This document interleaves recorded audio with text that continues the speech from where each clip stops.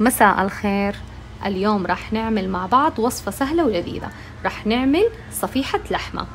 وبطل وصفتنا لليوم خبازة هوم إليك الكهربائية. وهوم إليك ماركة حصرية لدى قصر الأواني. إيش مميزات خبازتي؟ ما شاء الله تنفع لكل حاجة. آه بيتزا خبز فطاير. واليوم راح نعمل بيها الصفايح صفيحة لحمة.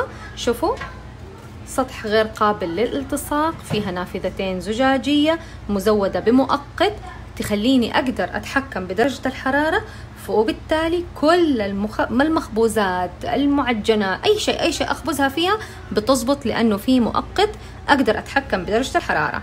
آه 2600 واط خبازتي كبيرة 45 سنتي 220 فولت وضمان ثلاثة سنوات. مقادير العجينة. عندنا هنا ثلاثة أكواب دقيق آه نص كوب زيت زيتون وعندنا هنا آه مبدئيا راح نحتاج لتلتين, كوب موية. إن احتجت زيادة راح أزيد وراح أكتب لكم المقادير آخر حاجة. عندي هنا آه ملعقة صغيرة سكر رشة ملح ملعقتين صغيرة خميرة. بكل بساطة هذه مقادير عجينتنا. طيب هنا عندي الدقيق. راح أضيف الملح. طيب أخلط الملح شوي كده.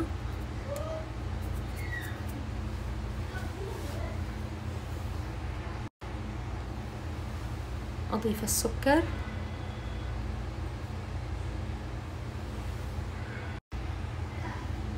عندي هنا الخميرة. أخلط المكونات الجافة كلها سوا. أضيف زيت الزيتون.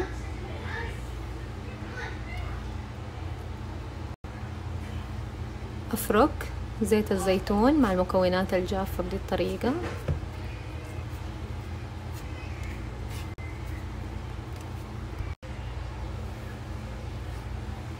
أضيف الموية.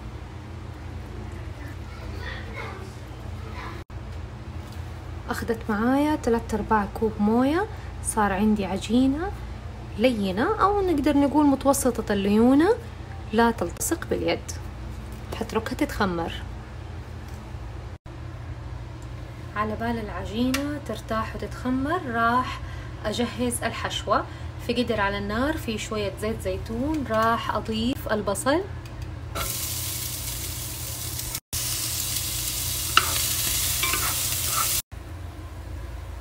بعد ما يدبل البصل نضيف اللحمة المفرومة.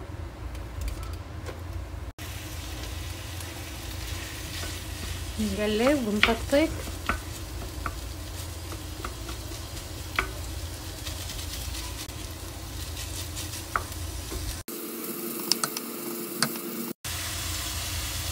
أضيف الثوم المهروس.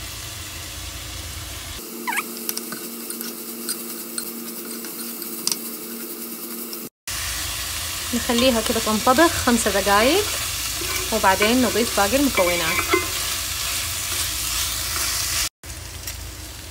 نضيف مكعبات الطماطم.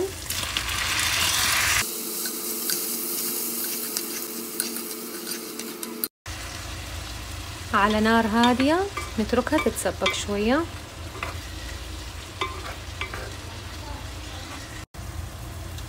هنا عندي ملح فلفل أسود كمون وكزبرة ناشفة. راح أضيفهم.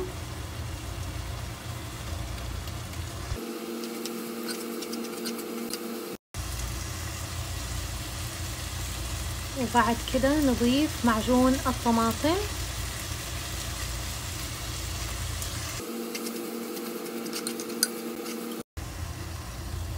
وأخيرا راح نضيف الصنوبر المحمص.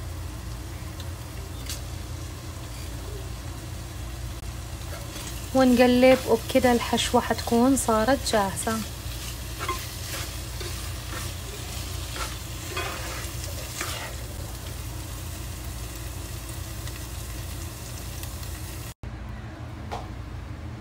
شوفوا ما شاء الله العجينة خلاص صارت جاهزة اتخمرت. أهبطها وأقسمها لكور صغيرة. بدا الحجم.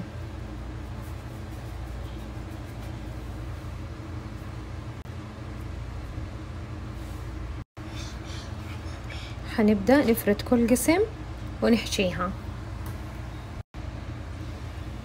هذه الحشوة جاهزة.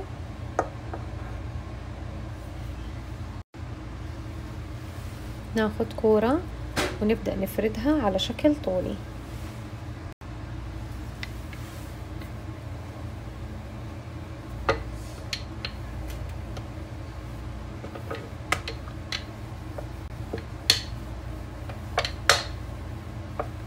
طبعا حجم الصفيحة حسب رغبتك.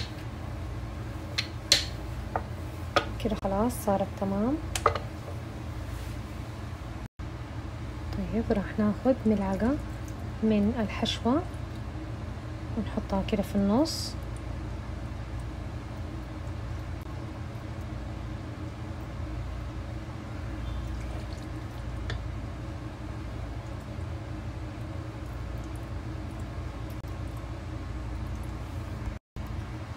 بعدين نطبق العجينة زي كده.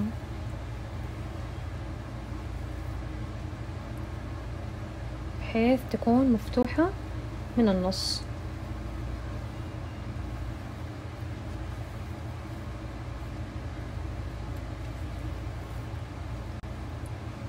كده خلاص صارت جاهزة للخبز. أكمل الكمية كلها وأرجع لكم.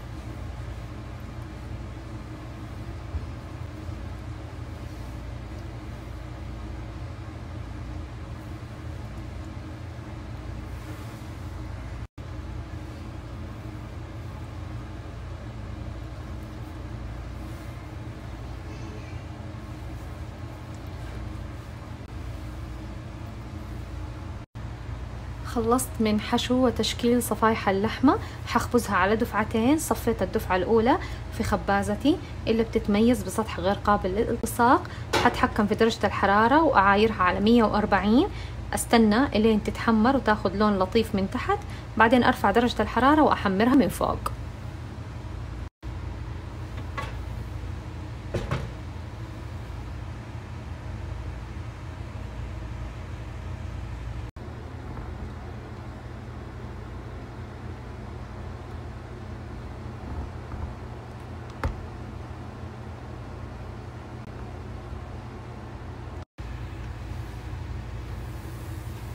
كده الصفايح صارت جاهزة.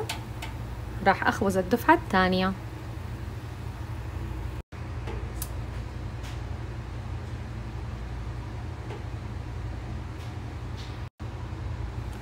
يلا بسم الله.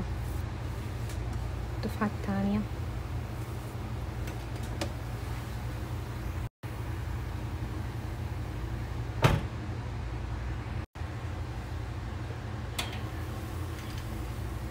والدفعة الثانية صارت جاهزة.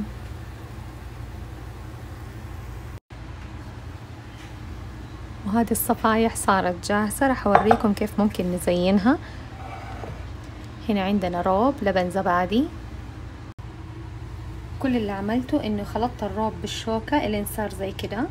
بدا القوام دحين راح أحط ملعقة صغيرة في النص بدي الطريقة.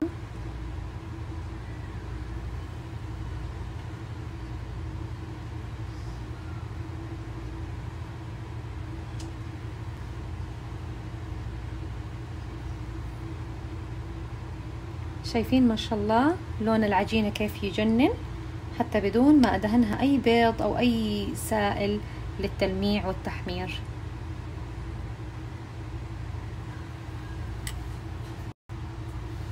وبعدين نزينها بشوية صنوبر بدي الطريقة.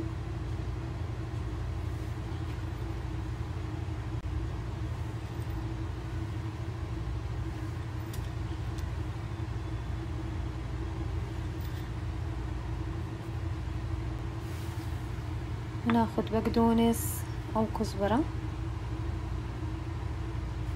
نزينها كده في النص.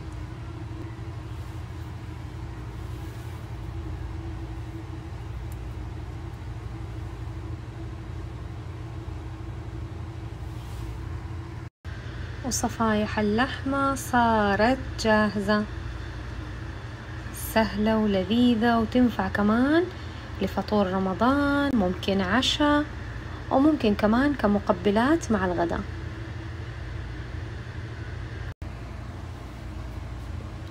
ألذ صفايح لحمة ممكن تذوقوها.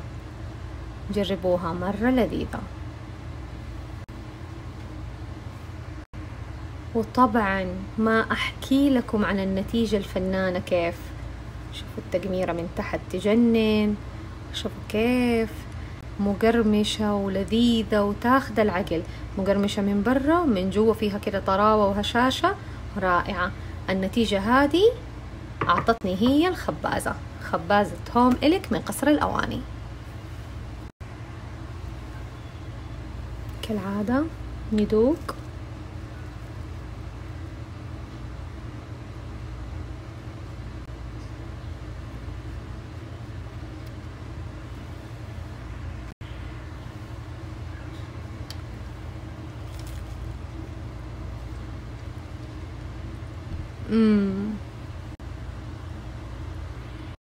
رائعة رائعة رائعة.